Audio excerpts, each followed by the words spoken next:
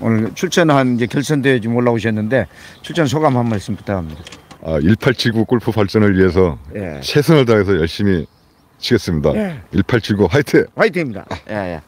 자 오늘 저 잘 치십시오. 김용태. 예. 한 말씀 하시죠. 저도 코로나 때문에 이렇게 어려운 경기 속에서 이렇게 이런 대회를 열어주셔가지고 프로들이 그래도 이런 대회 속에 나와가지고 좋은 어, 또 아무튼 열심히 하겠습니다. 감사합니다. 네. 이 바이데느 대표로 나오신 우리 저 김창도 한 말씀만 하시죠. 프로님 한 번만 더 하시죠. 네, 오늘 수고 마시는 스텝하고 좋은 선수들하고 오늘 좋은 경기 하겠습니다. 감사합니다. 네, 감사합니다. 예.